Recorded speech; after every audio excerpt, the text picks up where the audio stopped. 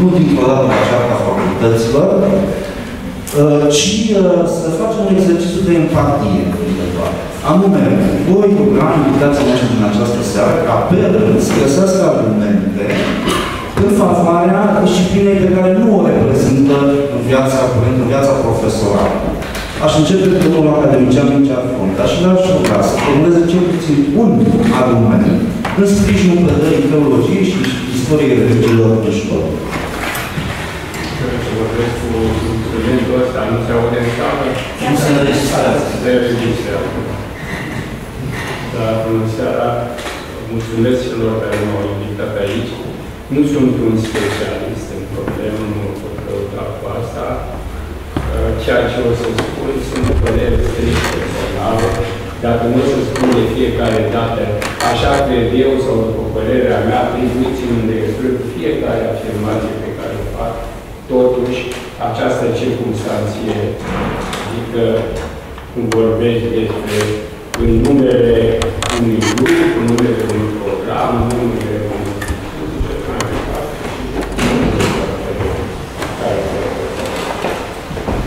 în legătură cu întrebarea care s-a pus, e bine să pornim undeva mai departe. Anume, România este un număr de ani membru al Uniunii Europene. Când ne gândim la Uniunea Europeană, ne gândim la circulația persoanelor, ne gândim la circulația mărfurilor, ne gândim la circulația forței de muncă, și alte lucruri de acest fel. Dar Uniunea Europeană înseamnă un sistem de valori. Statul român, prin aderarea la Uniunea Europeană, își asumă un sistem de valori care este ăsta al comunității europene. Asupra acărui fundamente nu o să mă opresc. Dar aș vrea să menționez există câteva valori fundamentale prin care un stat sau o comunitate își exprimă apartenență la această asociație. Prima dintre acestea este libertatea. Libertatea în înțelesurile emotive, inclusiv libertate de gândire libertate de gândire nelimitată doar de limitată doar de faptul că există exercitări ale libertății de gândire care aduc prejudicii libertății de gândire a altora și drepturile, drepturilor altora. Această libertate de gândire implică din capul omului totodată dialog, ceea ce înseamnă avem probleme comune de interes, dar avem puncte de vedere diferite, în lor fundamentale. Dacă toți suntem de o aceeași părere, atunci nu există dialog și nu se manifestă și nu se exprimă roade, coloasele unui dialog. A doua valoare fundamentală pe care aș vrea să menționez este cea dreptății, care înseamnă, în primul rând, respectarea unor reguli care sunt în principiu general acceptate și convenite. Iar a treia valoare, foarte strâns legată de celelalte, două este solidaritate. Adică îi tratăm pe toți oamenii care sunt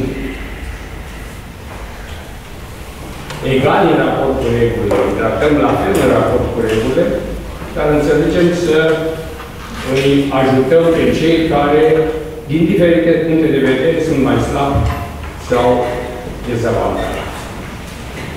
Acum, dacă ăsta este cadrul general, ne putem întreba, în acest cadru de angajament al unui stat,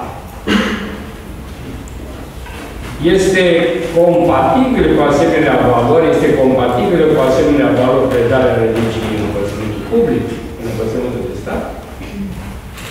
de stat? Cum știți, să priviți asta, părerile sunt diferite. Și au existat relativ mai recent chiar multe dezbatere în legătură cu această temă, pentru că Consiliul Deputat a propus ca să fie înlocuită religia cu etica, ca să nu se mai predea religia ca o disciplină uh, în școală pentru toți cei care doresc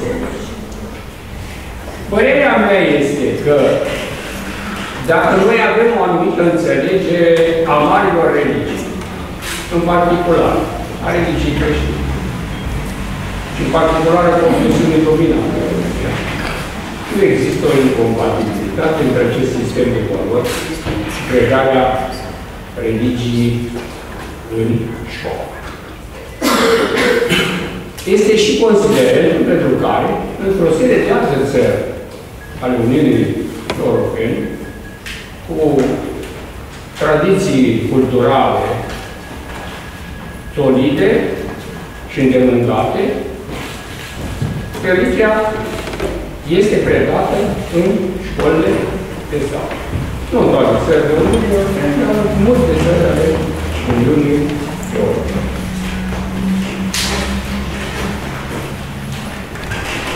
Ceea ce este fundamental în această privință este o delimitare a condițiilor în care predarea religiei în școlile de stat este de acord cu sistemul de valoare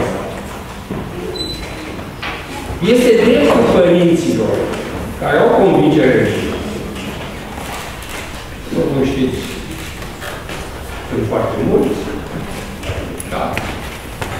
să dorească ca copiilor să primească în școală o instrucție și o educație religioasă. Și este firesc ca statul să vină în multiplicare. Ce te așteptă?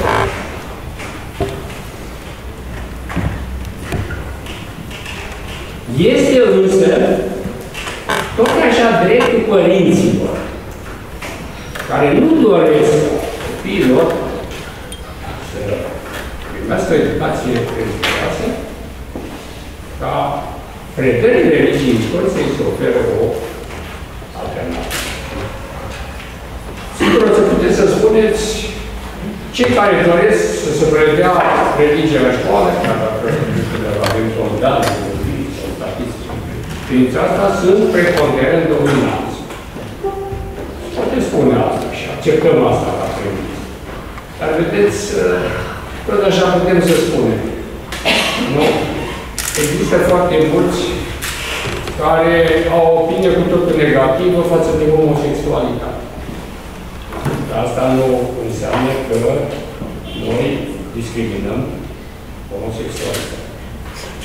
Pot să existe în anumite privințe opinii predominante de natură rasistă nu justificăm niciun caz, nu, discriminarea pe criterii rasiste.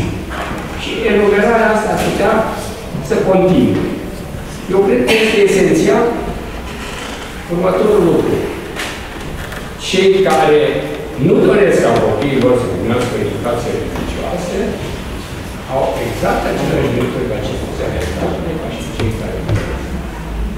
Și atunci reglementările ar trebui să țină seama de asta. În forma actuală, după câte știu eu, nu țin seama. Pentru că cei părinți care nu doresc să au copii să frecventeze aceste ore de religie, nu trebuie să facă orice. În plus, dacă ei nu urmează orele de religie, e o alternativă urmarea. În ore de religie care să contribuie la formarea unui, acelui sistem de valori care crede că este promovat prin ordine de religie, o alternativă la asta. De pildă, etica este o alternativă de acest fel. Eu nu sunt nici de părerea celui care spune că religia n-ar trebui predată în școală și înlocuită cu etica, dar nu sunt nici de părerea că sistemul actual bine, pentru că cei care nu doresc nu sunt într-o situație orală cu cei care doresc. Deci, uh, acesta este punctul meu de vedere în această chestiune și nu doresc să vorbesc acum mai mult, în câteva discuții poate o să precizarea încă o